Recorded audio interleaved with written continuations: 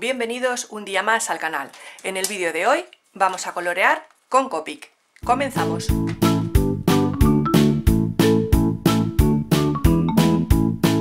Pues bienvenidos un día más al canal. Hoy he sacado mis rotuladores Copic a pasear y he pensado, ¿por qué no? Pues voy a grabar un vídeo ya que estoy coloreando con ellos por si a alguien le interesa mmm, aprender un poco sobre los Copic. Vaya por delante que yo no soy ninguna experta en el mundillo Copic, simplemente soy una aficionada que bueno, pues he ido aprendiendo eh, buscando cosas en, en, internet. No he hecho ningún curso de Copic, simplemente soy autodidacta. Viendo cosas por la red, tutoriales y demás, pues he ido aprendiendo todo lo que sé. Entonces, bueno, vaya por delante que no soy ninguna experta. Pero bueno, eh, mi intención con este vídeo es que no hace falta ser expertos en la materia para pasar un buen rato coloreando y aprender cosas nuevas. Entonces, para empezar, bueno, os voy a hablar un poco del papel, eh, los dibujos, los diferentes dibujos que podemos estampar eh, y de las tintas y los rotuladores eh, que necesitamos para según qué forma de hacer el dibujo. Entonces, lo más importante para pintar con Copic es, utilizar un papel eh, de buena calidad, ¿vale? Un papel que sea específico para eh, diseño gráfico e ilustración, ¿vale? Estos rotuladores se utilizan sobre todo en, en ilustración para el mundo manga y la ilustración de cómic y cosas así y es importante utilizar un buen papel para obtener un resultado óptimo. Los dibujos que podemos hacer, que podemos colorear pues lo que se nos ocurra. Eh, cualquier ilustración, cualquier dibujo, cualquier eh, sello estampado. Mirad, estos de aquí, que ya tengo coloreados, yo los he calcado. Me busqué en internet unos dibujos que me gustaban, los imprimí y de esa impresión, pues en la ventana, poniendo el papel y el dibujo uno encima de otro, al estilo tradicional, los calqué. ¿Vale?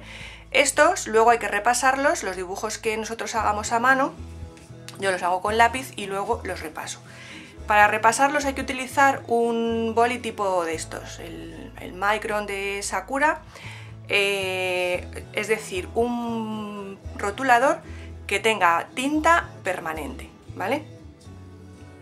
Para que no se nos vaya a la hora de, de poner el rotulador. Estos de aquí esto es un sello, ¿vale? Un sello que tengo por aquí que está estampado.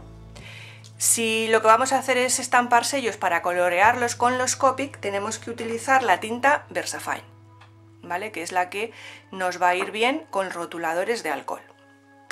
Esto también, este dibujo también eh, lo calqué. Eh, lo saqué de, de internet, lo imprimí y en la ventana, copiándolo, calcándolo, tal cual. Luego estas flores de aquí estas las dibujé yo. Yo tengo estos dos libros. Estos dos libros de aquí, los Botanical Drawing, Line Drawing. Eh, uno, este es más de cactus y, suculentas. Y mirad, vienen para, ah, para hacer los dibujos paso a paso. Paso uno, qué partes hay que ir añadiendo hasta tener el, dibujo final. Y este otro de aquí que es eh, más de hojas y, flores. También tiene algún, algún cactus y alguna suculenta, pero sobre todo se centra más en, en flores y hojas. Y estas dos flores de aquí las dibujé de este libro. A ver si la encuentro.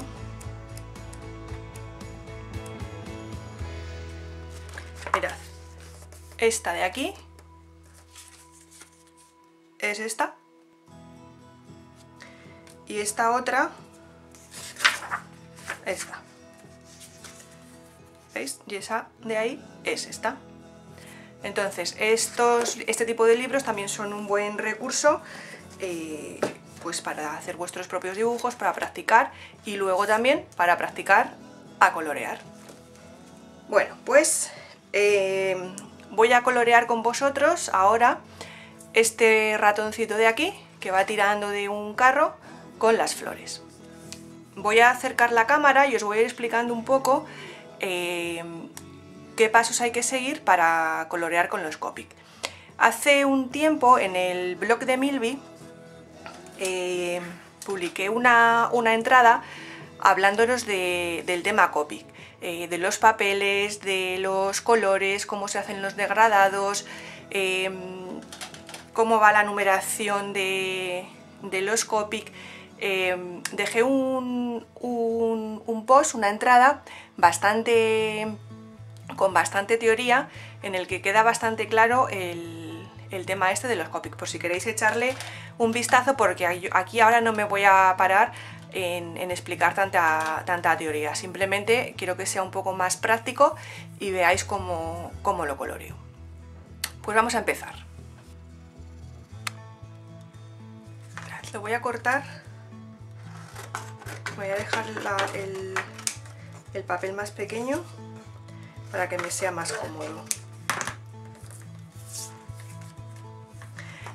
Pues para empezar, a ver aquí lo veis bien.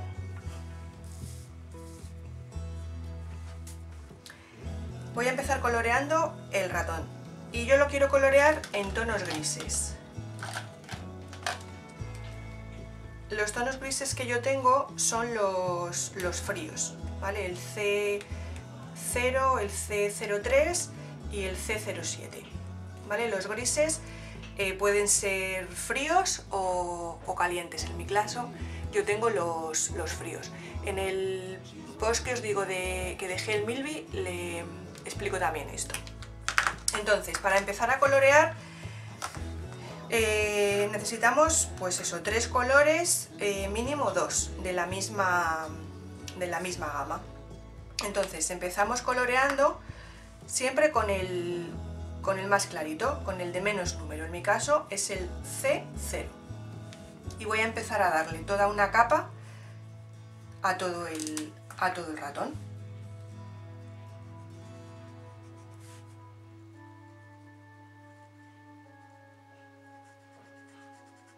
Veis que este es muy clarito, que apenas si se nota. No sé si en cámara, si lo estáis viendo un poco,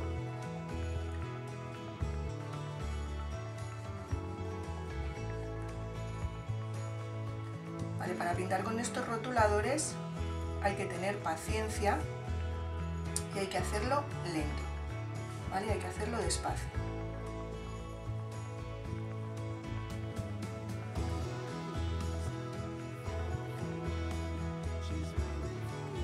Yo le doy otra capa para unificar bien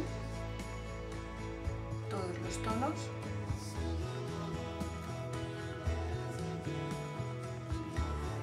y ahora con el siguiente número que sería el C3, en mi caso el C3 le voy a ir haciendo las sombras. Para hacerle las sombras con el rotulador simplemente por donde yo crea que van las sombras si nos imaginamos que la luz le da desde aquí pues las sombras las tendrá en esta parte. Entonces con con la punta fina del rotulador lo que vamos a hacer es este movimiento, ¿veis? Apretar y soltar, que no se nos quede em, el final marcado del rotulador. Así, que se quede como al final un poco difuminado. Pues le vamos a dar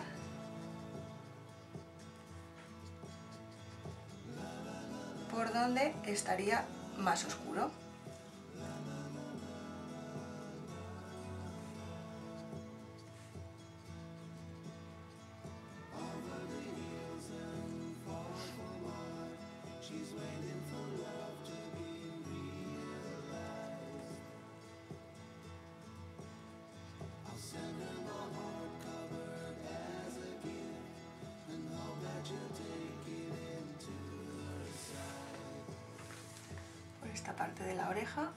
Se queda detrás, también estaría más oscura.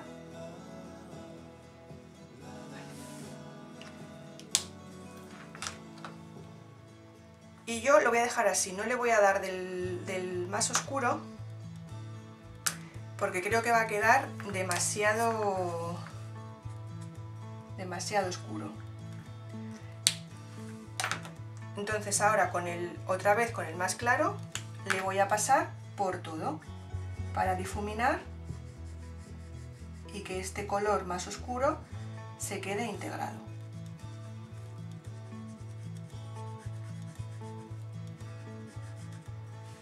Esto lo podéis hacer con el rotulador este más claro o con este rotulador, el cero, que es el blender, ¿vale? Que es el que sirve para, mezclar los colores. Yo suelo hacerlo con el, con el más claro de, la gama que estoy utilizando, pero también se puede hacer con el, con el blender. Le voy a poner un poquito de colorete con el R20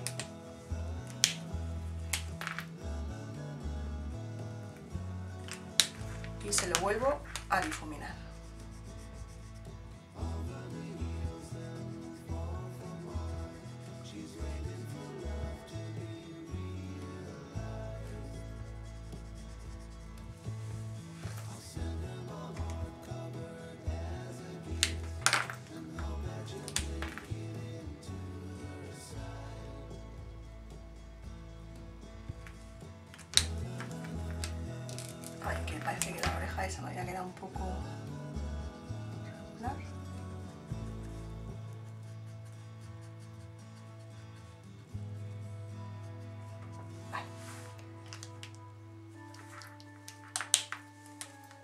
Y así, ahí tendríamos el ratón.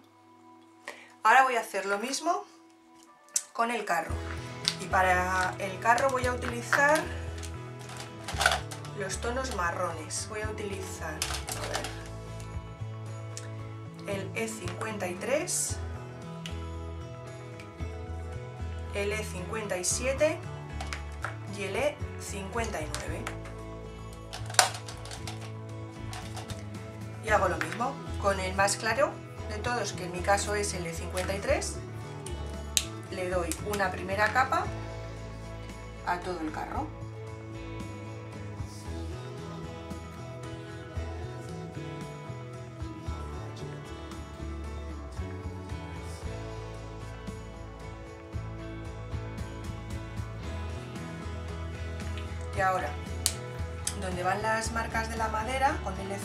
57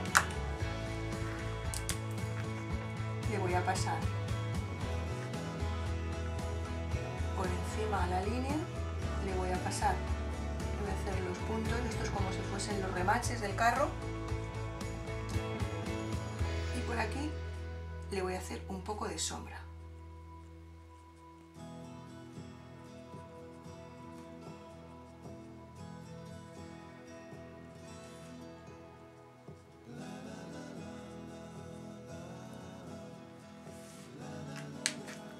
Y ahora con el más claro otra vez.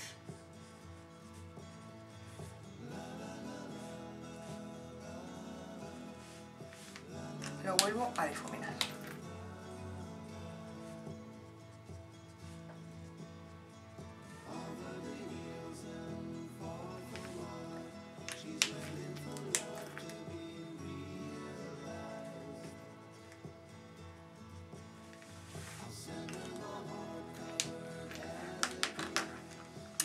rueda se la voy a pintar con, el, con un gris porque negro no tengo.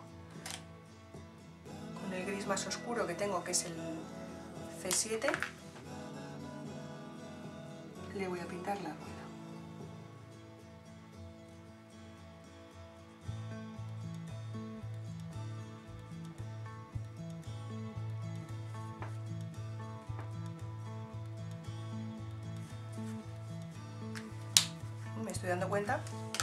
El rabito sin colorear al ratón.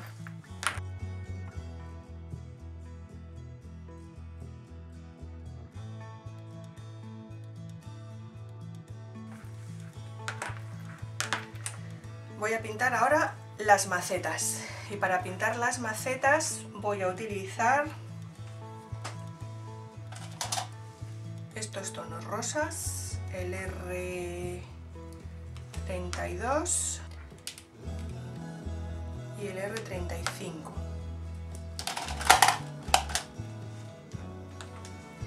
Voy a pintar una de este color, igual con el primer color, le paso una primera capa a toda la maceta. Y ahora no sé si hacérselas de este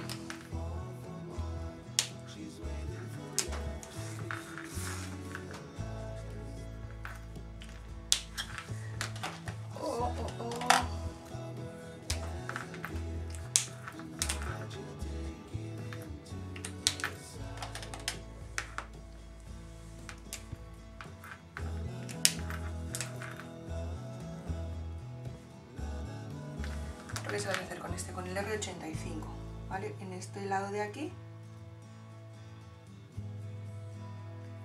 le voy a hacer la sombra.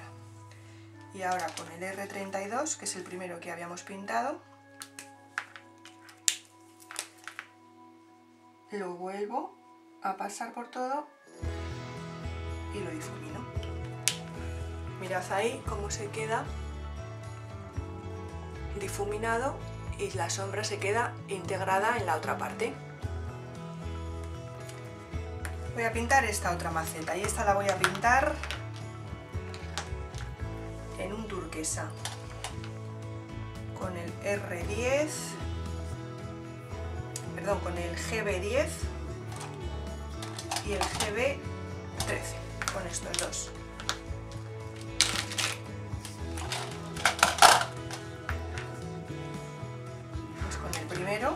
claro, con el GB10, una primera capa.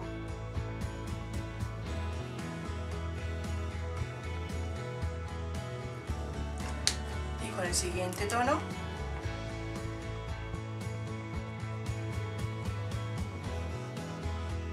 la sombra.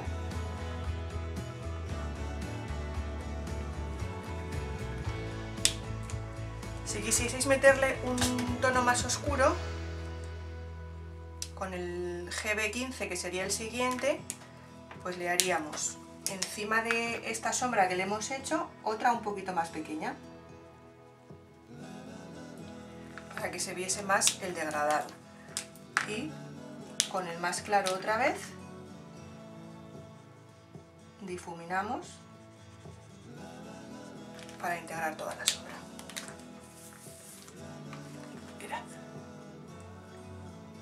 ¿Veis cómo quedaría así? Esto ya os digo que es práctica, no os va a salir a la primera. Ahí me estoy dando cuenta que falta el centro de esta flor. Vale. Estas flores de aquí las voy a pintar de amarillo. Voy a utilizar los tres amarillos que tengo.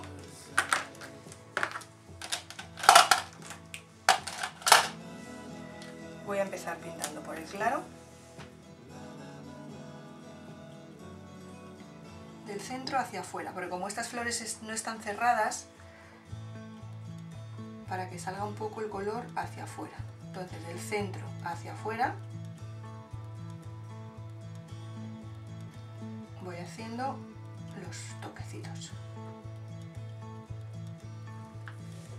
Con el siguiente que sería el Y02, este es el Y00 y este el 02. Hago lo mismo, pero no llegando hasta el final, no llego hasta el final.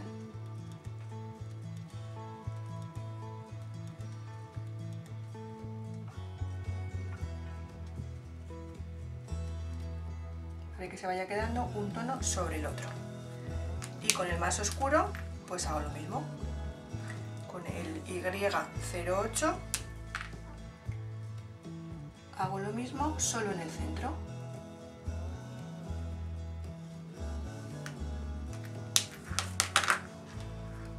Y con el más claro, voy a hacerlo ahora con el blender para que veáis que el efecto es el mismo.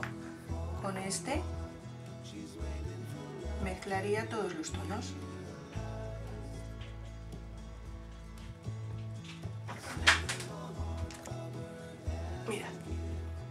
Quedarían las flores amarillas.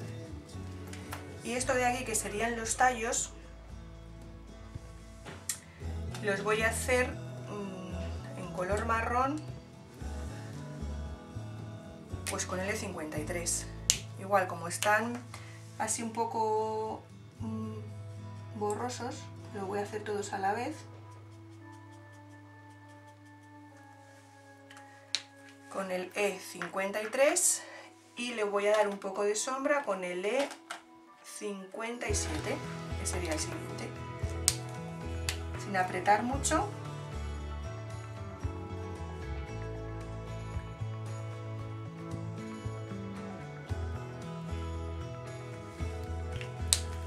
Y ahora con el E59 pues un poquito más abajo lo oscurezco más. Y otra vez con el más claro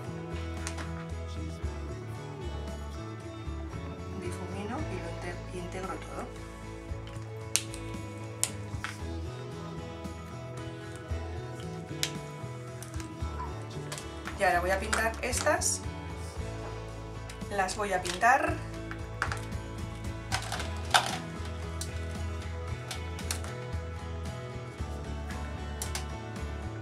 las voy a pintar de rosa, las voy a pintar con los rosas claritos que tengo.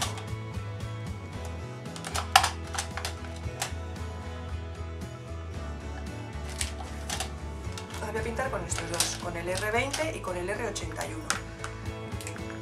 El R20, que es el más clarito, lo pongo una primera base, pongo de base en todas las flores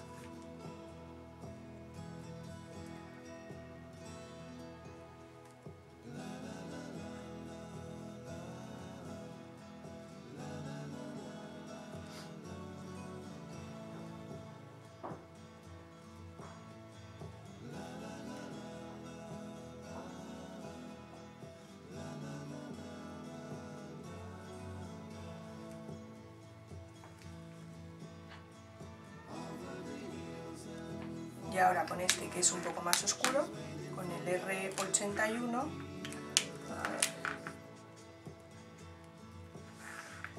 le voy a dar en el centro.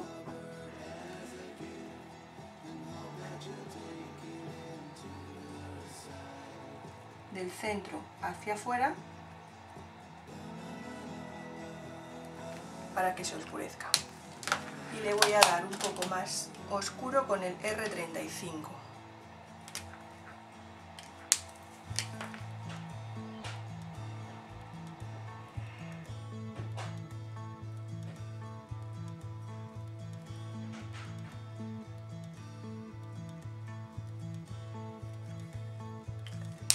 y con el R20 otra vez lo paso por encima y unifico los tres tonos.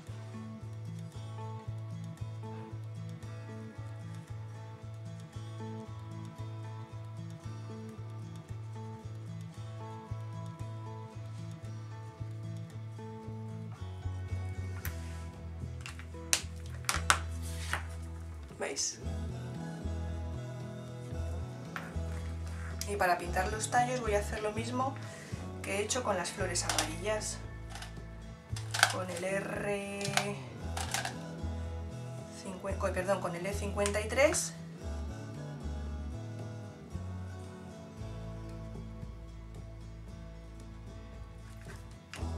y ahora con el E57 la parte de abajo le doy un poquito más oscuro y con el E59 un pelín más. Y con el más claro vuelvo a unificar.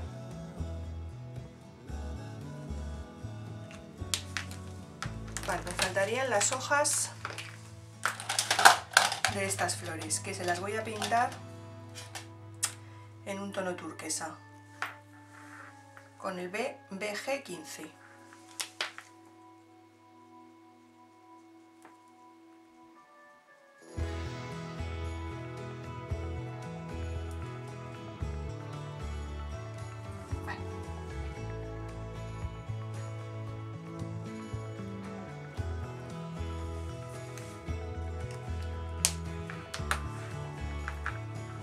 Y así quedaría nuestro ratoncito terminado. Como veis, esto es, práctica, es siempre utilizar eh, los rotuladores de la misma manera, del más claro eh, e ir subiendo la tonalidad para ir haciendo las, las sombras y así nos quedaría. Mirad, os voy a enseñar este, que fijad que estas sombras no están bien hechas, porque me quedó todo el borde muy marcado. Sin embargo, si os fijáis en este conejito o en este otro gatito, eh, pues ya me quedaron un poco mejor. Esto es cuestión de, práctica, ¿vale? Eh, la primera vez que lo haces pues no, no, te queda bien, pero es cuestión de seguir, de seguir intentando y seguir practicando. Espero que os haya gustado el vídeo de hoy y os animéis a ponerlo en práctica. Muchas gracias a todos por vuestra visita y nos vemos en el próximo. Adiós.